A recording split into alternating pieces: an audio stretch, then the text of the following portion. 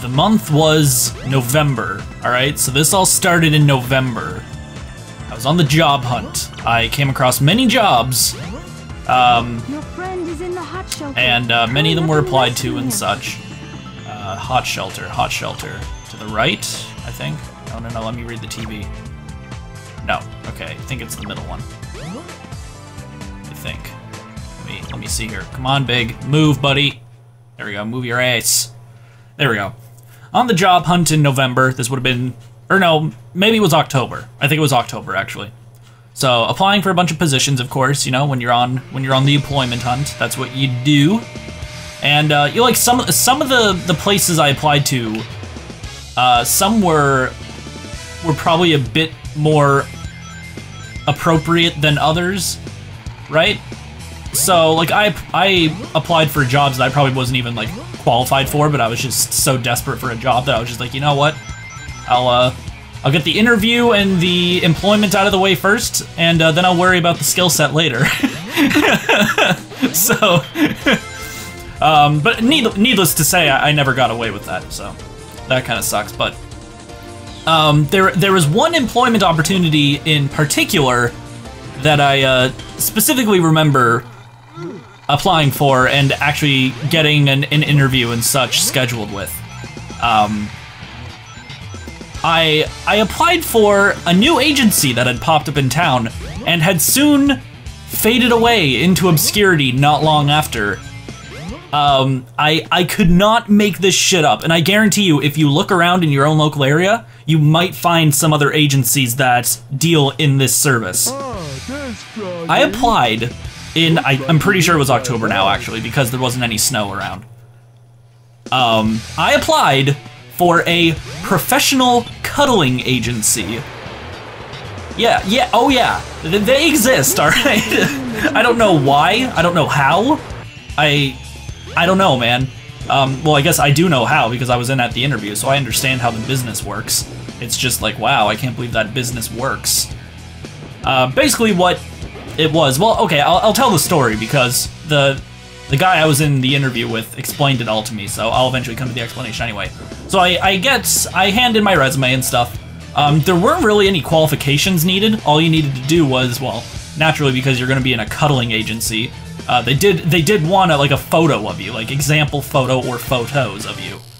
So um, it was really quite flattering. I submitted my photo and I got an interview. So um, whether that's something I should be flattered by or if that's just a given because nobody applied for the job, I don't know. Might be the latter, but it I, either way, I got the interview. Um, so I go downtown. It's downtown by the waterfront. Um, kind of like this. It, it actually wasn't like I want to say it was like a shady looking office, but I think it wasn't really.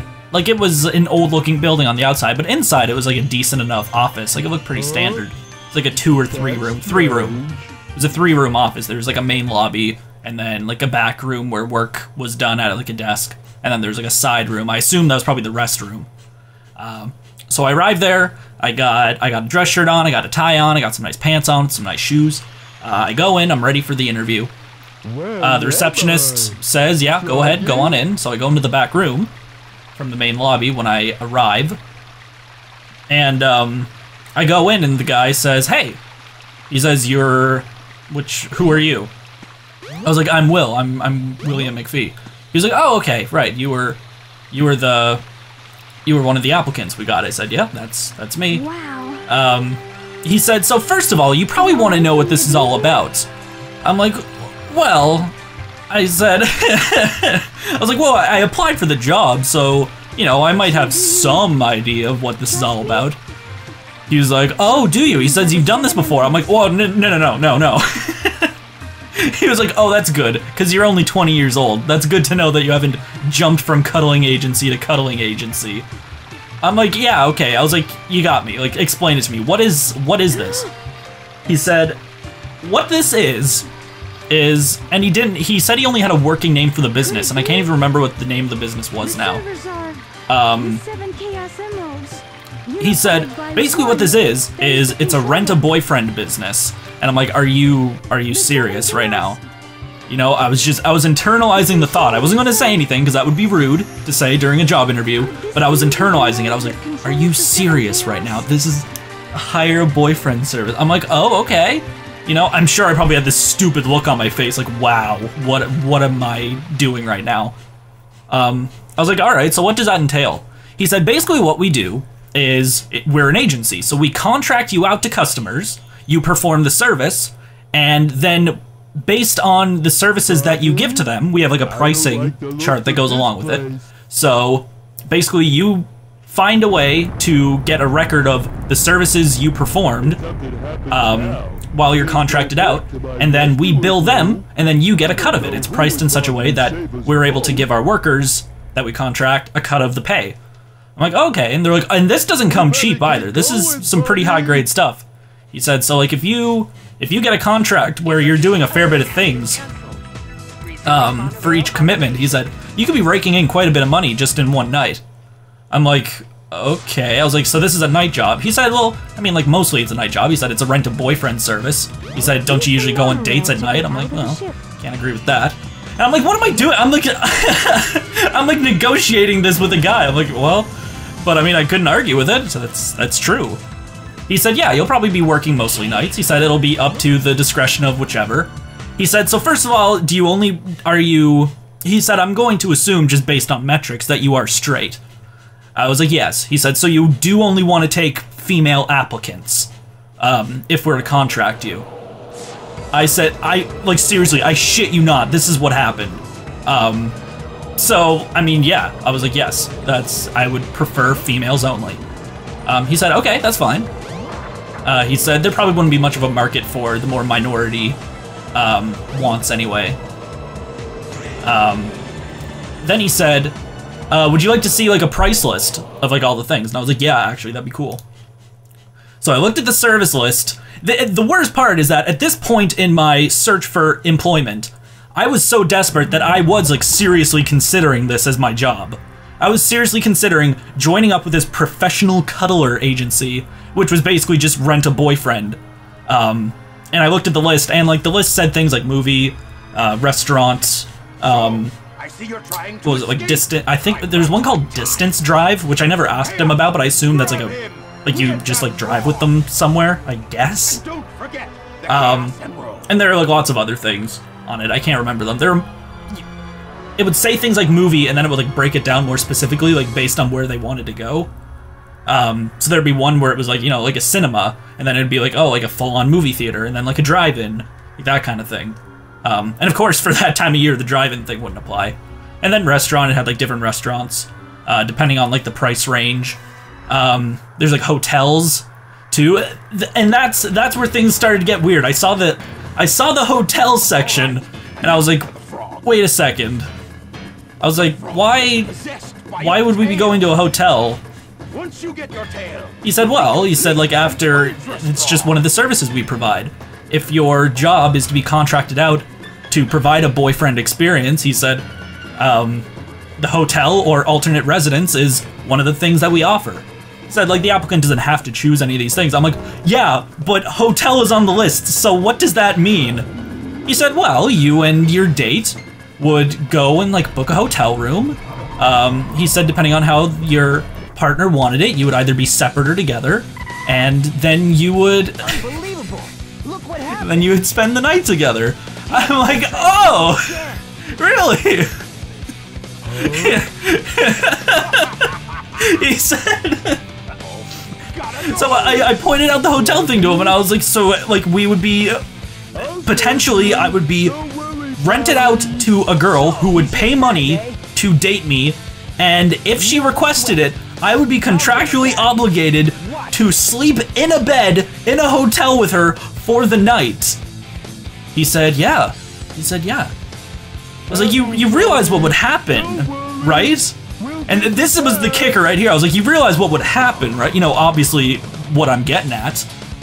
He said, you realize what would probably happen if she wanted to like rent a room with me and I was, you know, like I was obligated to go there. Like you know what the next service she would ask for is. She was like, "Oh yeah, no, but we can't pay you for that." he seriously fucking said that. he was like, "Yeah, but we can't pay you for that." I was like, "Yeah, no shit, you can't pay me for that. That's called prostitution."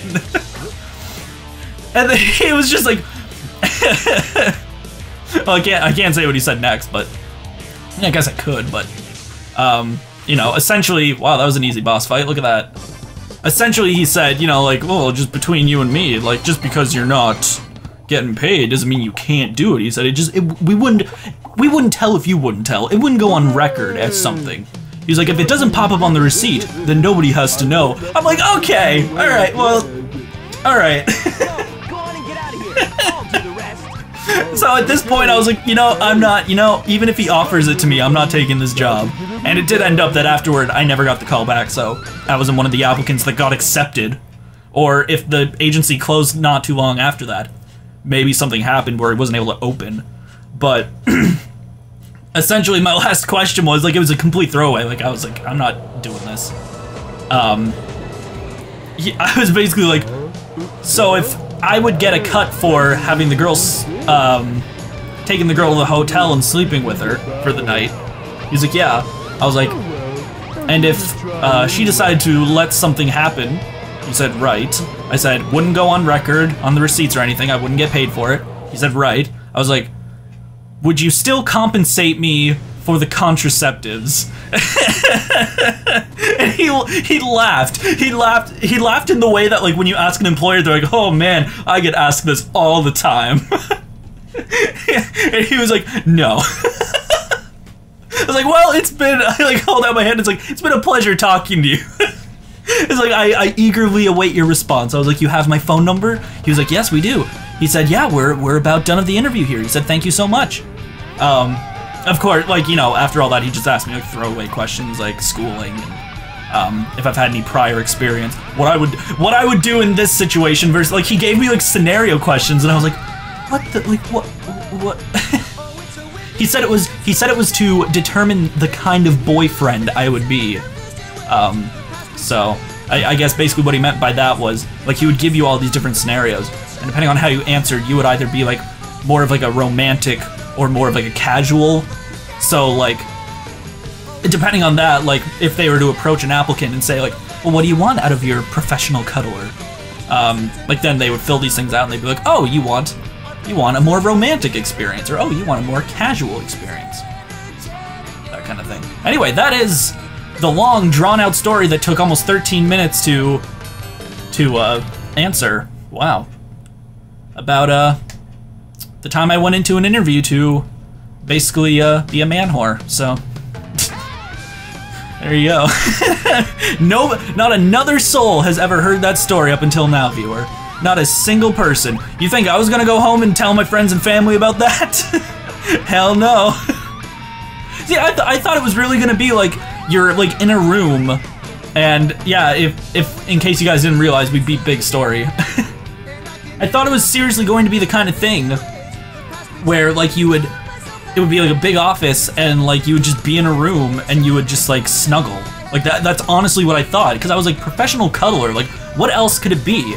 And that like in a weird way that's such a misleading name for it right? Like it should have just been like like a an application called like rent a boyfriend or something.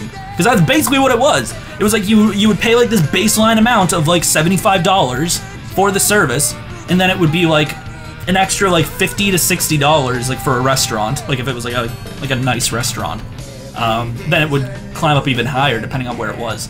Like if you're going to like the guild or like sims in town um, it'd probably be more like i mean geez just to pay for it you probably have to get closer to 100 so then you'd have to cover costs and you'd have to pay me the one who's taking her out so you know that'd be more um, the hotel yeah is like another 100 bucks like it, like a pricey operation so I don't know how they ever got the business off the ground in the first place.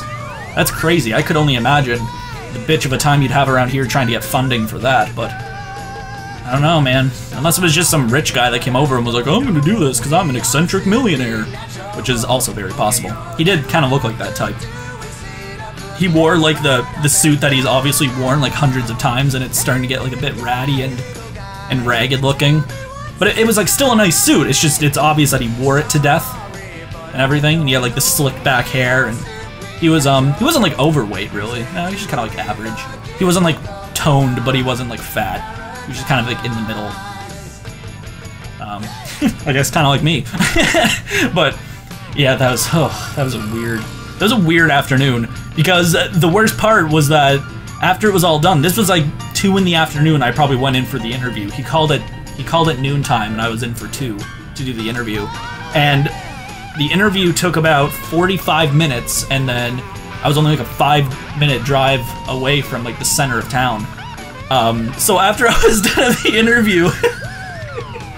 I had to drive back to school and go to my class. I was just like, yeah, well, I mean, I'm late for class, and uh, like, you know, like if anybody asked, like, where were you? I just, I would just have to say, like, at a job interview. and they'd say, where? and I think I said, like, oh, uh, uh, grocery store. so if anyone is watching this and talked to me and said I applied somewhere, and I said the grocery store, now you know where I actually was that day. I was applying to be a professional cuddler. There you go. Well, I mean, geez, man, there. Th- People say that, you know, anything that's anything that happens to you, good or bad, as long as it can become a story at some point, you know, it wasn't it wasn't all for nothing. Except that at the end of that, I had no job and uh, was no richer, and uh, had no more of my time utilized in an efficient way. Um, but other than those three very crucial positive things, I, uh, I got a story out of it. And I, you know what? All facetiousness aside, I've got to say, a pretty weird story. You know, I, I like accumulating the weird stories. I, uh, I really like it when weird things happen in my life. Spices things up a little bit, you know? Anyway, we're we're gonna end the episode here. I know I'm sorry I didn't comment on the gameplay at all. I just wanted to tell you guys this story. I told you guys in like the previous video with Big, um, that I was I was I like I wanted to tell it and I was like, no, I'll tell it in like a different video. So this is the different video that I wanted to tell the story in. And um, I really wanted to make sure I told it in like very immaculate detail. Um, because I know that that is like that is quite the out there story, I know. So I wanted to provide as much detail as possible to be like, yeah, no, this this happened. but the, the question remains: I, would I have taken the job if I'd gotten the call back? And um, at the time, at the time, I probably wouldn't have because I would have still been holding out for a different job, probably. Um, but since to this day the job hunt is still on, like if, if they called me back like tonight and was like, hey, like we got out of like legal trouble, do you you still want to have the job? I would probably say yes. and uh, then I would be the Let's Player who is also a professional cuddler slash secret man whore. So uh, there you go. How's that for a story? Oh, there you go. Perfect chaos. Roar your roar. Nice, dude. I'm you know what? I'm sure like just the way the like girls are around here. I'm sure that probably wouldn't be a thing very often. I'm sure that wouldn't. Not not that girls around here are like prudes or anything. Um, it's just you know they usually have some self-respect. In which case they probably wouldn't go to a rent a boyfriend service anyway. Oh, probably not. Um, but I don't know. It, it would have been. It would have actually been like a neat experience. You know, like people like to make jokes and like shame that sort of behavior, but I can't lie in saying that it would have been a very unique uh, work experience. You know, I mean, it, it- that's valid. That's a valid, true thing to say. It would have been interesting. It would have been a time in my life that I could look back at and be like, not many people have done that.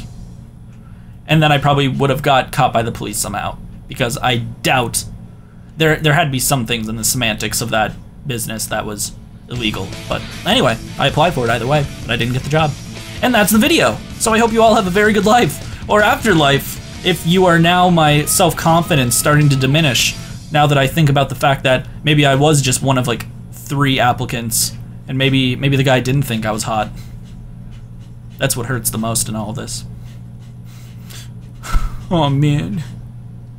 Oh man. Yeah, whatever. Peace. Oh, oh, Gamma. Oh, Gamma's breaking down. Oh, good lord, man. Let's get him back up in the next episode. Oh, jeez, I'm, I'm teasing. Oh.